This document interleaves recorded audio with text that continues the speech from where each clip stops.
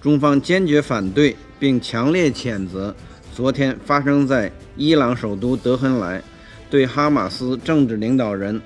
伊斯梅尔·哈尼亚的暗杀。这是对和平努力的公然破坏，也是对尊重各国主权和领土完整这一联合国宪章基本原则的肆意践踏。中方对这一事件可能导致地区局势进一步动荡深感忧虑。时至今日，加沙冲突爆发持续已近三百天，造成了近四万人死亡和前所未有的人道灾难。安理会第二七三五号决议通过已经两个多月，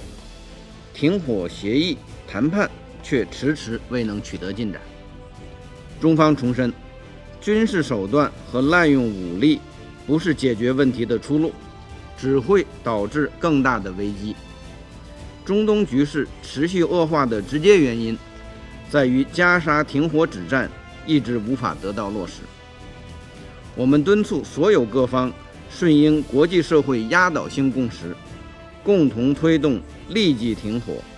拯救生命，缓解灾难，遏制冲突外溢。中方敦促以色列全面落实安理会有关决议，立即停止在加沙的一切军事行动，立即停止对加沙民众的集体惩罚。有重要影响的国家应加大对当事方的施压劝说力度，切实为平息加沙战火做出真诚努力。